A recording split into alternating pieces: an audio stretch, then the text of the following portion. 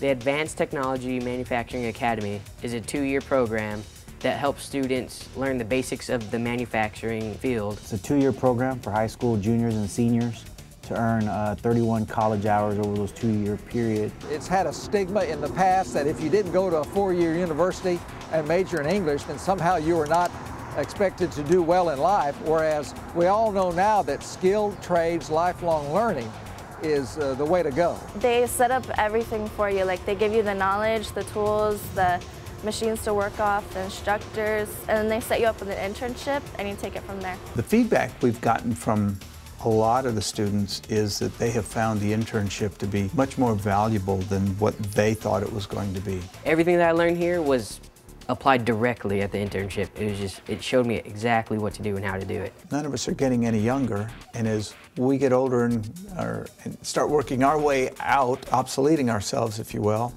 what is it that we've done to help fill that pipeline?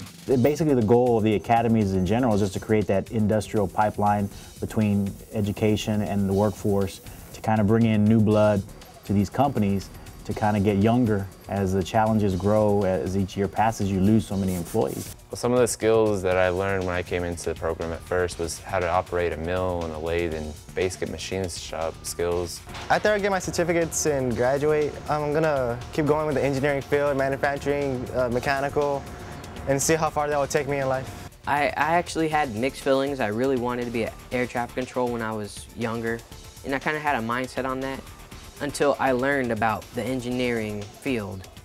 And then whenever I told the counselor at the high school that I wanted to be an engineer and I didn't know what to do, what to take, she said, oh, here's this class.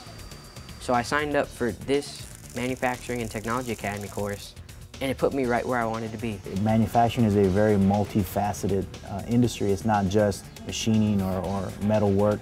You're doing robotic technology, you're doing mathematic equations, you're getting engineering concepts, um, and then you are getting the manufacturing and, and the equipment uh, experience working on mills, lathes, grinders, CNC equipment.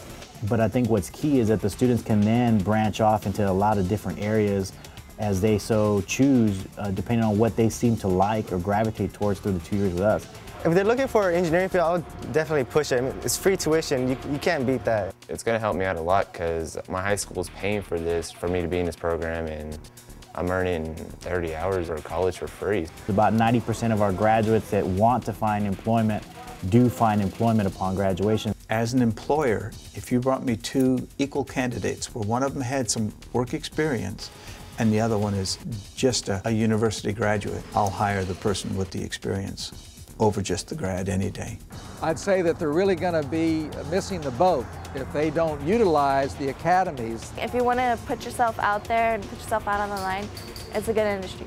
I feel that doing this class and you know doing machining and a little bit of wiring, different things, will help put in perspective of what to do.